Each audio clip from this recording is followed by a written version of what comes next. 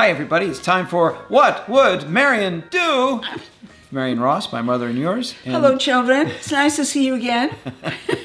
now, there will be a test later. It will. So here's the question for you mm-hmm. What would Marion do?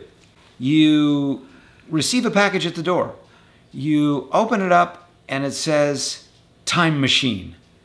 What do you do with that time machine? Well, a time machine. Well, of course, I, I am so open minded and naive that I would let them in. I'd say, oh, you, you have it in, is it in a box here? Mm-hmm. Well, let's just say, let's just say you have the time machine. The person you invited them in, that's fine. But what do you do with the time machine? Is it a dater? You, do, you, you put mail in there and do a lever and it dates it? Let me explain the concept of the time machine. So the time machine is a machine that allows you to go back or forward in time. I'm pretty happy to be right here in this time because I've been back, so I know what that is. Perhaps it would be fun. Let's go back 200 years. Oh.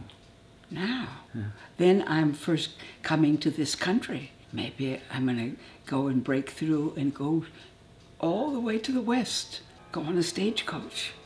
Maybe there'll be Indians, things like that. Maybe I could have a, inherit a mine and uh, d- discover gold, things like that, silver, kind of. Not diamonds, because we don't, I don't think we have diamonds here. No. And then get to the coast and discover all the 49ers. This is a wild, wild west. And I might decide to become a, a chanteuse in a club, know? Ah. And get a wig and a costume. Yeah. And try to make them buck. What do you think? Yeah, I like it. I like it.